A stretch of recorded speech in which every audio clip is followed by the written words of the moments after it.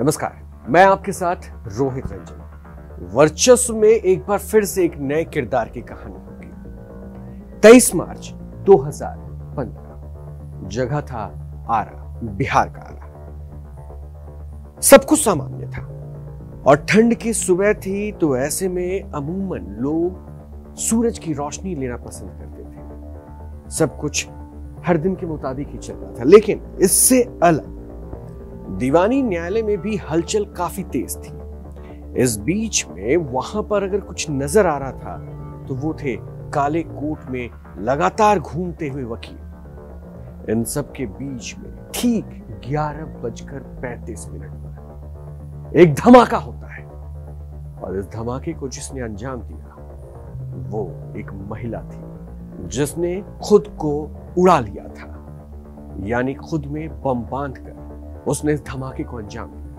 और इस धमाके में दो लोग मारे गए। वो महिला भी मारी गई। इस धमाके को जिसने अंजाम दिया, उसका मास्टरमाइंड, या कह लीजिए कि इस धमाके के पीछे जो प्रायोजक था, जिसने इस पूरे के पूरे गुनाह की रचना लिखी थी, वो कोई और नहीं था। वो था डॉक्टर डॉन।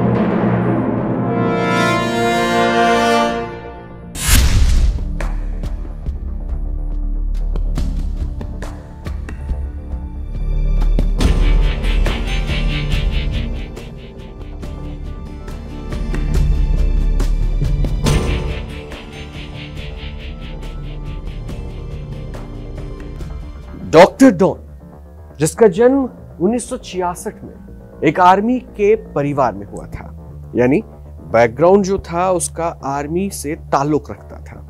हालाँकि पिता कामेश्वर पांडे ने कुछ दिनों बाद ही आर्मी की जॉब को छोड़ दिया और वापस अपने गाँव आ गया। और गाँव आके वो बालू के खनन में लग गया। यानी सोन नदी के बालू के उस व्यापार में लग गया, जहाँ पर खून की होली होनी आम बात हो चुकी थी। और कामेश्वर ने एक गैंग बनाया। वो गैंग जो इस खनन माफिया के तौर पर काम करने लगा और वो रेत का कारोबार, वो रेत का कारोबार अब पूरी तरीके से पनपने लगे और उसका दबदबा उसका दबदबा कायम हो जाए। इस जुगत में कामेश्वर पांडे लग गया। हालाँकि इस बीच कामेश्वर ने अपने बेटे को पढ़ने के लिए बेंगलुरु भेज दिया, लेकिन खून ने रंग दिखाया। और बेंगलुरु में जहाँ उसे पढ़ाई करना था, वहाँ पर किसी बात से विवाद होता है और चाकू निकालकर उसका बेटा, कामेश्वर पांडे का बेटा, सुनील पांडे, सामने वाले पे वार करता है।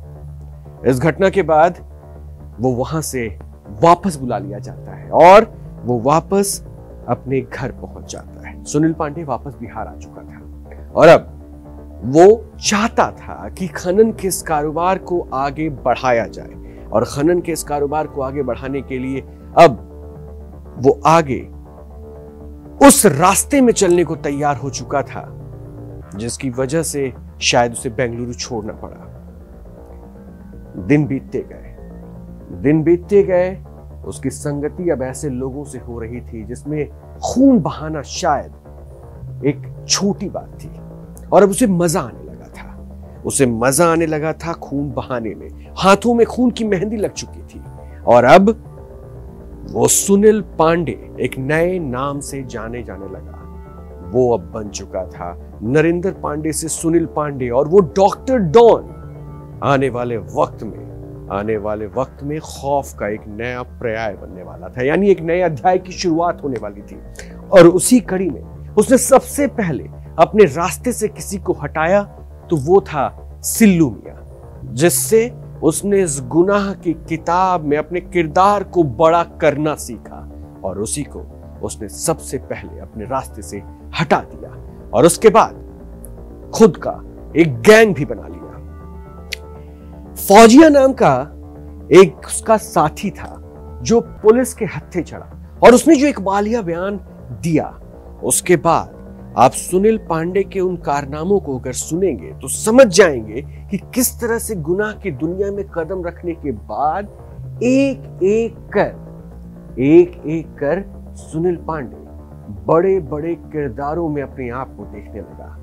बोकारो में, बैंक में घुसकर डाका डालना हो, या फिर एक बैंक के बाद दूसरे बैंक में घुसकर फिर से वहाँ पे लूट करना हो। सुनील पांडे ने ऐसे कई घटनाओं को अंजाम और सुनील पांडे लगातार अपने कद को बड़ा करता रहा। लेकिन इस बीच जो तस्वीर नज़र आ रही थी, उसमें सुनील पांडे के बीच में अगर कोई रोड़ा बन रहा था तो वो सुनील पांडे को बर्दाश्त नहीं था। सुनील पांडे लगातार गुनाह की दुनिया में अपना कद बड़ा करता जा रहा था। लेकिन सामने सिल्लू मिया था, जो उसका उस्ताद था। हालाँकि फौजिया के मुताबिक उसने एक मैसेज कन्वे किया और यह कहा कि सुनील पांडे की सिल्लू मिया हत्या करवाना चाहता है। दरअसल, मकसद कुछ और था। कहानी की सच्चाई यह है कि सिल्लू मिया को सुनील पांडे अब पसंद नहीं करता था क्योंकि सिल्लू मिया के नाजायज रिश्ते के बारे में उसे जानकारी मिल गई थी, जो कि वो लड़की उसके गाँव के रहने वाली थी, सुनील पांडे के गाँव की। और ये बात सुनील पांडे को पसंद नहीं थी। और होता यही सिल्लू मिया को रास्ते से हटा दिया जाता है। इसके लिए भी साजिश बुनी गई। लेकिन कहानी सिल्लू मिया की मौत से आगे बढ़ती है। यानी अब अपहरण, डकैती, लूटपाट, हत्या, इन तमाम किरदारों में एक बड़ा नाम कोई बन चुका था तो वो था खुद सुनील पांडे। उसका गैंग तैयार हो चुका था। उसके गुर्गे दरअसल उस लोहे के बल पे उस सियासत की तस्वीर बदल देते थे। वो तय करते थे कि सियासत में नुमाइंदा कौन होगा? हालाँकि कहानी और आगे बढ़ी। नब्बे के दशक में बिहार में जातिगत सियासत ने खूब परवान चढ़ा और उस वक्त उस वक्त एक नई सेना बनी। रणवीर सेना। भूमियारों ने दरअसल इस सेना को तैयार किया था। हालाँकि इसके पीछे भी कई कहानियाँ हैं और ये कहा जाता है कि वर्चस्व की जब लड़ाई आगे बढ़ी तो ये सेना दरअसल दलितों के ऊपर हावी होती थी और दलित इनके सामने खड़ा ना हो पाए। इसके लिए इस सेना ने काम शुरू किया, लेकिन अब भूमियारों की सेना में वो शामिल हो चुका था सुनील पांडे। सुनील पांडे अब कमांडर बन चुका था। उसने हाथ में अब लोहा ऐसा उठाया था जिसपे सामने उसने तय कर रखा था कि अब किसी भी तरह का कोई अत्याचार भूमियारों के खिलाफ वो बर्दाश्त नहीं करने वाला है। हालाँकि सुनील पांडे जिस गुट में शामिल हुआ था, रणवीर सेना में। उसका मुखिया था ब्रह्मेश्वर मुखिया।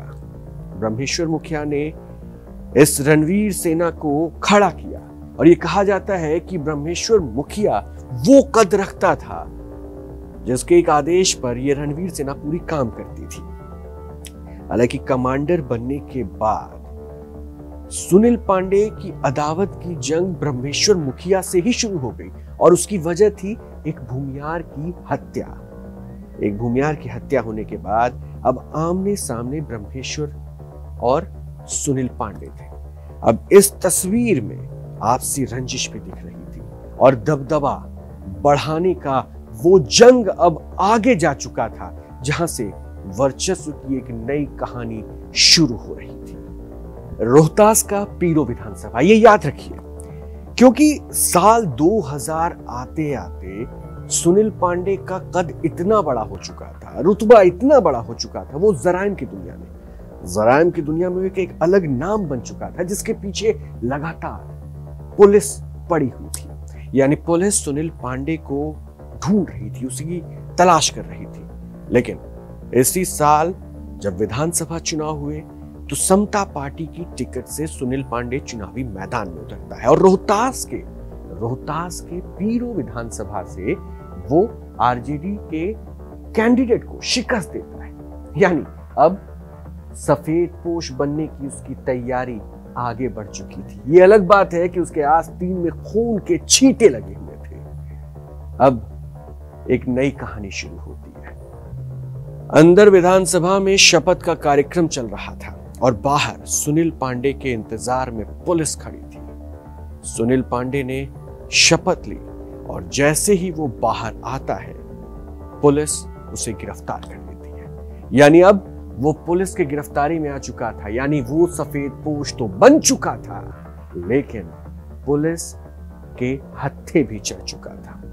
बहरहाल उसका कद इतना बड़ा था और सियासत की ताकत उसके साथ जुड़ी थी, इस वजह से उसे पता था कि उसे कुछ नहीं होना है। जी अर्काइव 2001 की वो तस्वीरें आपको दिखाएगा, जो शायद आप कहीं नहीं देख पाएँगे। वर्चस्व मैं आपको वो तस्वीर दिखा रहा हूँ, जो मेडिकल कॉलेज के कैदी वार्ड में सुनील पांडे था, लेकिन अपने गुर्गों के साथ किस तरह से रह रहा था, वो देखिए।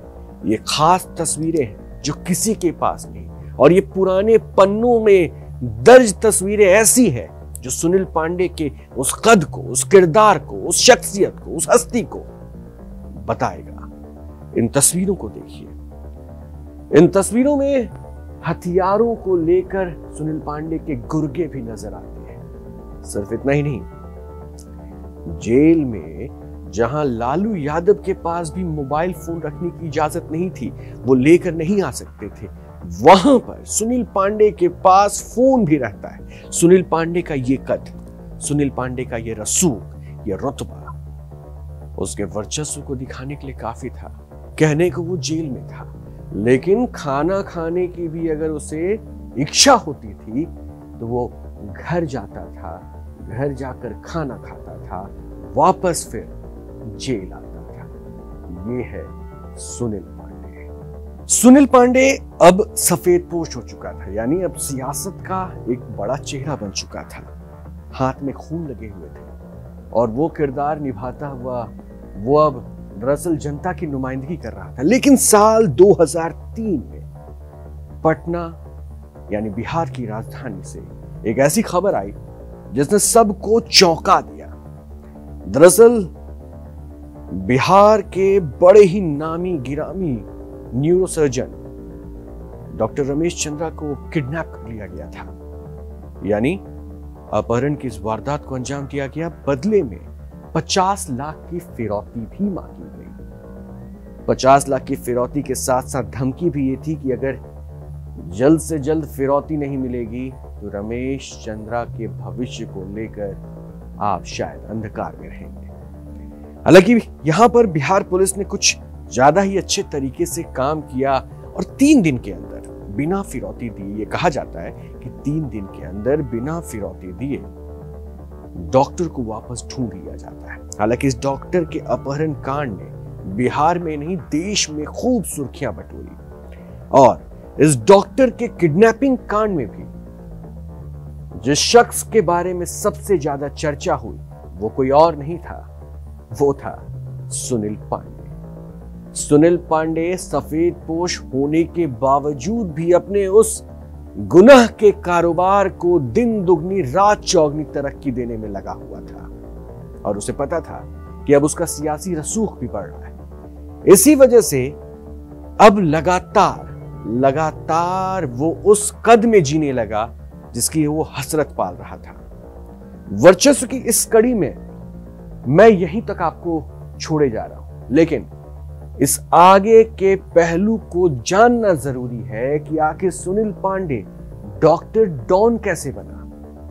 डॉक्टर डॉन बनने के उस पूरे किरदार को अगर समझना है तो थोड़ा इंतज़ार करना होगा। वर्चस्व में हम आपको वो तस्वीरें भी दिखाएँगे जो शायद अब तक आपने देखी नहीं होगी। और कि किस वजह से किस वजह से सुनील पांडे अपनी पहचान दरअसल वो बताता था कि वो तय करता था कि सत्ता में कौन बैठेगा, यानी सरकार बनाने से लेके सरकार को गिराने तक का दावा सुनील पांडे क्यों करता था? और इतनी बड़ी हस्ती का अंजाम आखिर क्या होता है आगे जाकर? ये आपको जानना होगा, थोड़ा सा इंतज़ार करना होगा। वर्चस्व में डॉक्टर डॉन की पार्ट टू जब हम लेकर आएँगे, उसमें ये राज आपके सामने हम